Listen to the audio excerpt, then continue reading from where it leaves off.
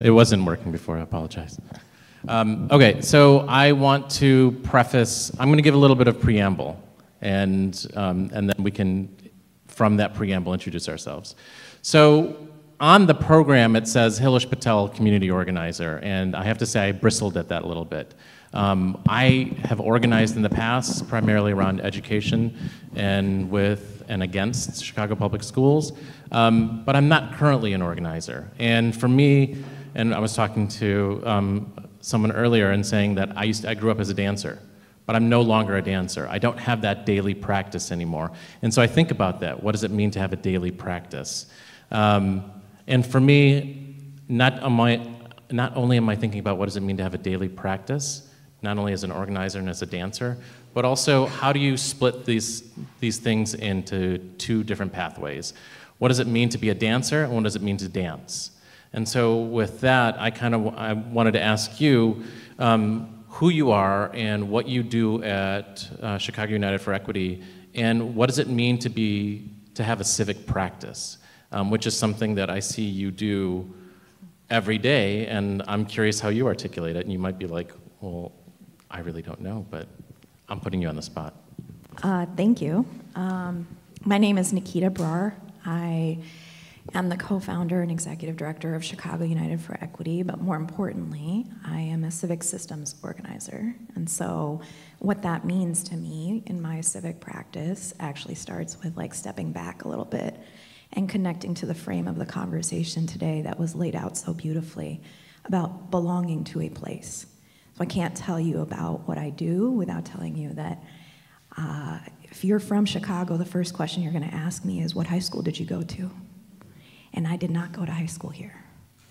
I have been here for about 10 years.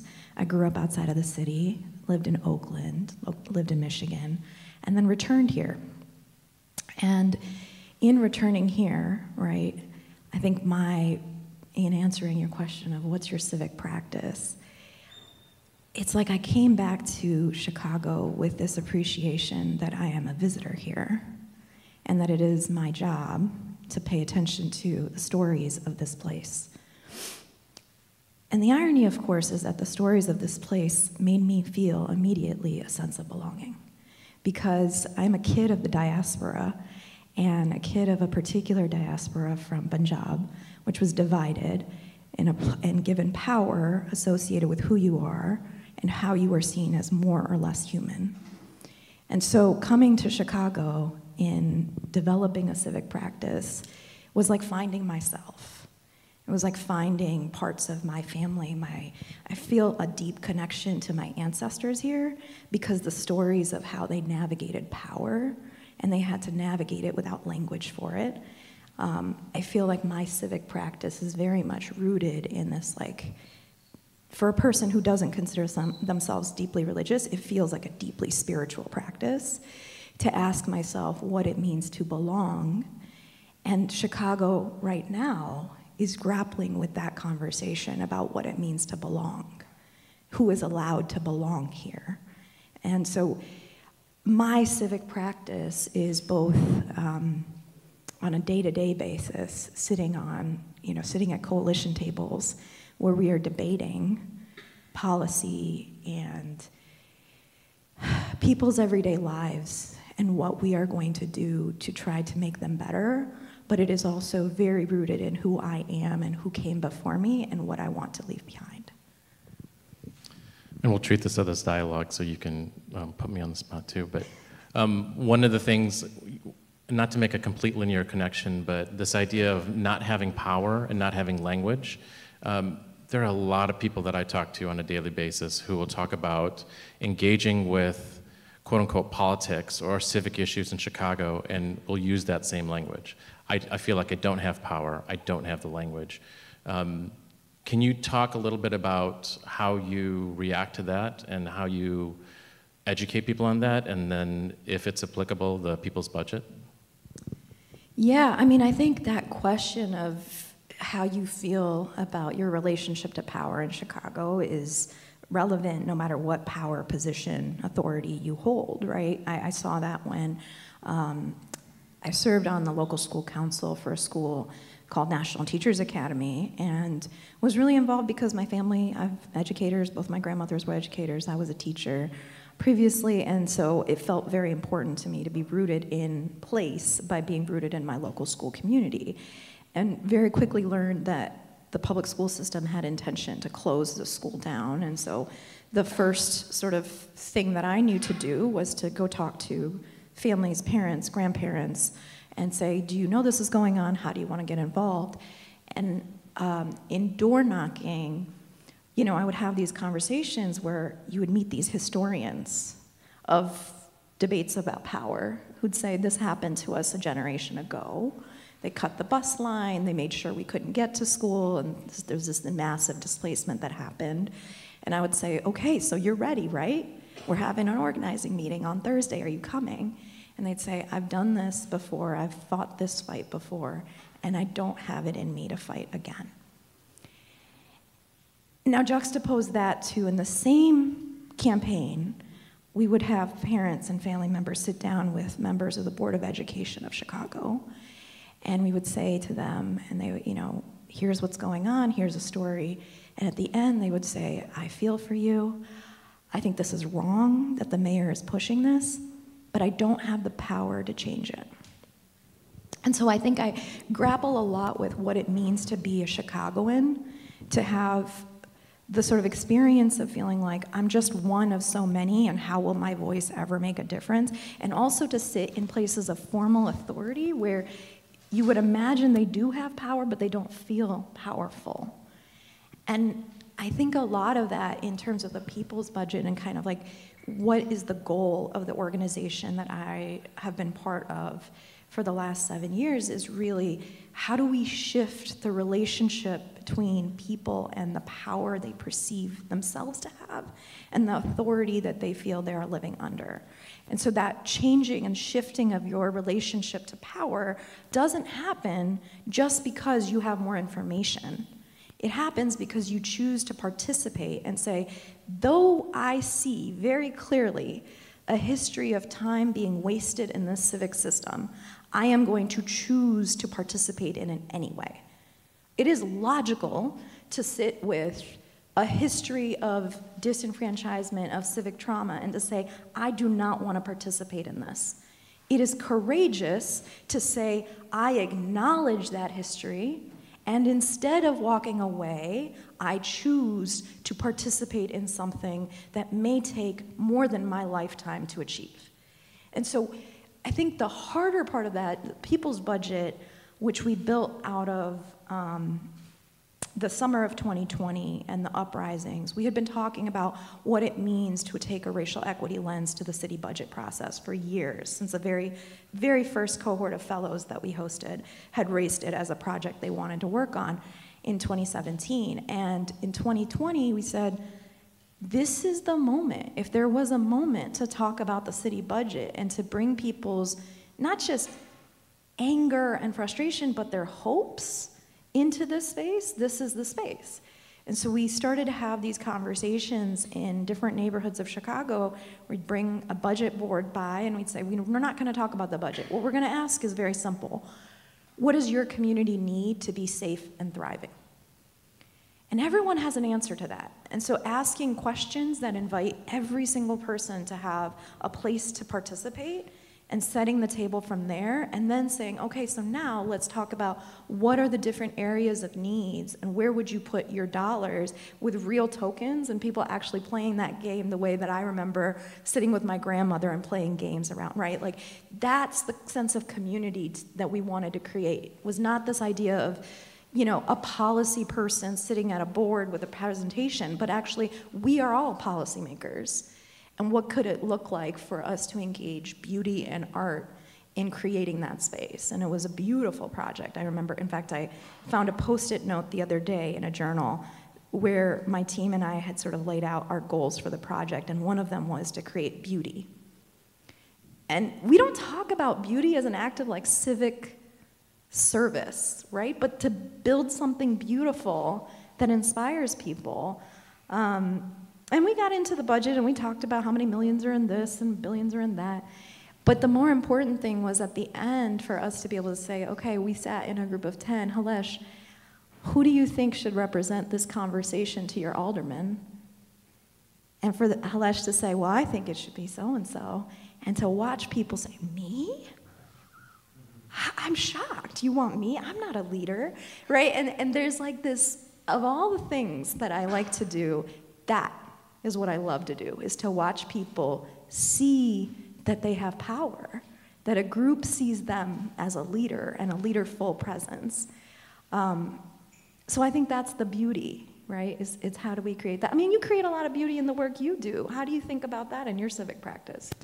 Well, I mean, I think about leadership a lot, um, ways in which to define it, ways in which to subvert it, and then how people sometimes, the, for me, the, how do I say this? Ambition's not a bad thing. You know, I, I know that people who want to be, I'm not negating people who want to be leaders, but the leaders that I find often who are doing the most sustainable and productive work are the ones who didn't anticipate being leaders, you know, are the ones who got called to do it or got pushed to the front. And then quite often in their path, I get to meet them where they say, can you tell me how to be a leader? Um, can, you, can, you, can I get some training? I'm like, you've been doing this for five to 20 years. You, and they're like, I don't know how to do this. I'm just like flying by the seat of my pants. Not only that, I have 20 young people who are, I'm building the capacity of, and I have no pathways to give them. And what does that look like? And so there's this like collective definition of leadership, this identification with this one particular individual, and then there's this subversive idea, quote unquote, subversive idea of collective leadership.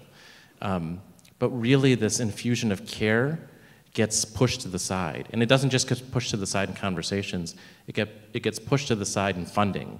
People don't fund, like if you are a leader and you go to a funding entity and say, I'm tired, I'm exhausted, I could use a break. No one's going to give you fun, you know? And I think there are vehicles and apparatus, you know, um, I can think of one person in particular who, um, Angelique over here, who very intentionally said to me, like, no, we want to do that. We want to create a vehicle to do that.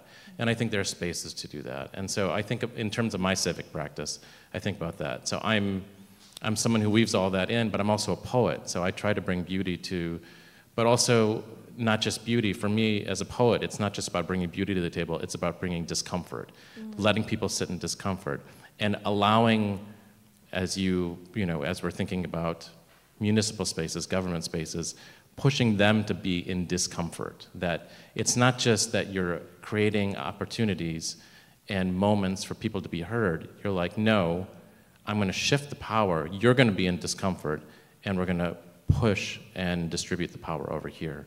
So I think about that quite a bit. Mm. I feel like in what I'm hearing from you, this this idea of discomfort, I think, is really really powerful, because the we've been playing with this concept of just saying like leadership because we we have fellows every year who are sort of labeled as leaders and they're also uncomfortable with the title right of being a leader um, as a singular practice. And uh, we've been sitting with like how do we help describe the types of folks that we see as leaders? And what one phrase that we keep coming back to is the idea of courage over comfort that they're practicing courage despite the fact that it is uncomfortable. Is it brave if it's hard, or is it brave because it's uncomfortable and you choose to participate anyway? If it doesn't feel like it's difficult, then I'm not sure it's courage, right? And that's, and I say that because I think it's incumbent on all of us to actually practice being uncomfortable. Practice being in spaces where our voice doesn't carry the same weight and we still participate in raising it. Yeah, I want to add to that that in addition to the discomfort, and this was mentioned earlier with what you, you know, what one of our speakers was saying, that this deliberate shift away from the binary, that people, that we're, in order to, and I don't know if this is going to make sense or that come out the way I want it to, you'll probably do a better job of this than I will, that you want leaders, you want civic practitioners to sit with multiple things at once, mm-hmm. and that you know, to quote a colleague and a, an old friend, that you want to queer the civic space. You want to disrupt the binary because power exists in the binary. People, governments, entities really love the binary. They love it when it's like, here's good, here's bad. Go out and, you know, do with it what you will. But disrupting that is, is where that discomfort lies as well. Yeah, and I think that can get super tangible when we start to look at, you know, where Chicago is right now.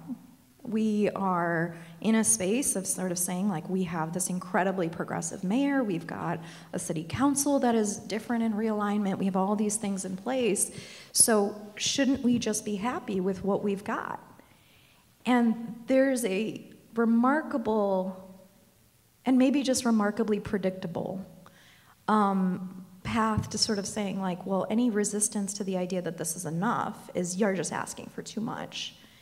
And, and I think it's part of our job, right, to say, yes, we can celebrate what we have, and in fact, we must be audacious in pushing ourselves further.